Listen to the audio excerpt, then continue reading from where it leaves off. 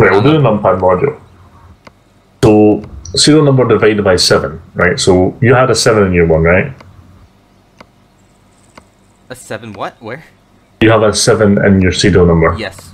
Right, okay, so in your numpad module, going from so as they appear going from left to right, you have to press these in the correct order. So the first one you should do is up arrow. No. No? No. Alright, so that means it's otherwise. So, zero. Uh huh. Small m.